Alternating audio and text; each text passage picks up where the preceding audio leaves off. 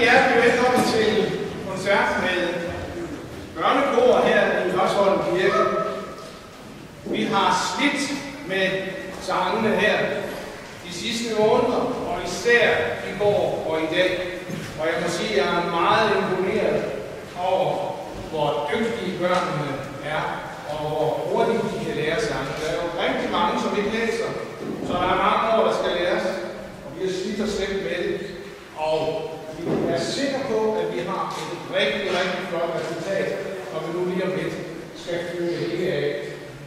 Inden vi starter, så vil jeg gerne sige tusind tak til forældre og andre familiemedlemmer, som både i forbindelse med bordstævnet og øh, også i det daglige bakker så fantastisk godt omkring arbejde. Det er en fantastisk hjælp i dagligdagen, og jeg kan mærke, at vi har med topmotiverede børn at gøre, så det er en super fornøjelse. Så tror jeg, vi er klar til at gå i gang. Rigtig god fornøjelse.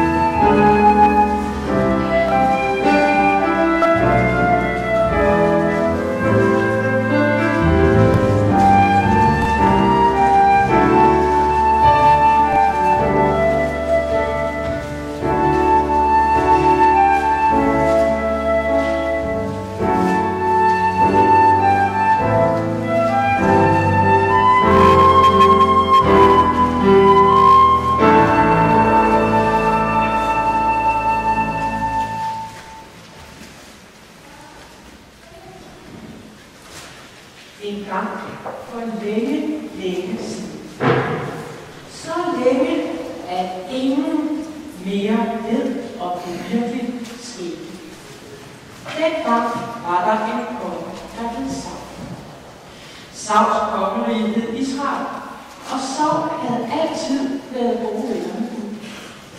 Det kunne folk i Israel godt mærke. Det var som om Gud holdt mest med dem, der boede i Israels land. I hvert fald havde det været sådan i al den tid, Saul havde været deres konge. Det blev sagt om Saul, Sauls kongerige, at det blev med mælk og honning. Folk nikkede og smilede.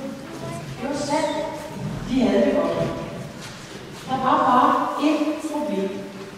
Det var.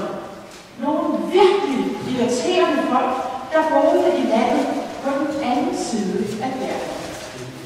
De lavede hele tiden problemer for Israel. Hver gang folkene i Israel havde plantet en mark eller bygget en by, så blev ministerne misundelige. Og så samlede de her og alt deres isenkram, svær, skyde og hjelme og benskinger skinner. Og så stormede de ned på bjergene og ind over grænsen til landet Israel og trampede det hele ned. Det var ikke til at holde ud. I lang tid havde kong Saul styr på det. Og Gud hjalp ham hver dag med at skræmme bilisterne, så de ikke kom for godt i gang. Men så en dag skete det ulykkeligt, at Saul havde travlt til at lytte, hvad Gud befalede ham at gøre. Det gjorde Gud virkelig vred. Helt utroligt vred, faktisk. Så vred, at Gud besluttede at gøre en ende Claus Sauls kongemagt og finde en mere lydig mand til den konge. Gud kaldte på sin trofaste profet Samuel og befalede ham at gå ud og lede efter en, der kunne blive en lydig konge. Samuel begav sig afsted, travlede eller støvede landeveje fra by til by gik han, og en dag kom han til by Bethlehem. Der boede en mand, som havde nogle rigtig høje, flotte og dygtige. Men det var ikke den Sauls og faldt. Det var deres lillebror, drengen de kaldte David, som hver dag gik ud på marken og vogtede sin græsskov. David var en lille splads, men han var en køn dreng, og god til dyr, og god til at spille fløjte, og så kunne han digte. David digtede glade sange og barnesange, og det gik han og sang i lille sky, mens han vogtede. Det var netop det, profeten Samuel hørte, da han nærmede sig Bethlehem, og da han fik øje på den kønne lille dreng, slog han ned i ham som en lyn. Der er en knægt, som kan vise mig noget. Og så gik det til, at Samuel fandt en, der kunne få kronen og blive konge over Israels folk. Og for at være sikker på, at det skulle blive en anden, der rakte med magten, så fiskede Samuel en lille flaske op af sin lomme, gik hen til David og sagde, Goddag, du skal være den næste konge over Israel. Og så åbnede han flasken og hældte indholdet ud over Davids hoved. Olien, der var i flasken, duftede så stærkt af parfume, at Davids øjne mødte vand. Og han undrede sig over den mærkelige vand. Men så vendte han sig op og løb tilbage til sin form. Og da det blev aften,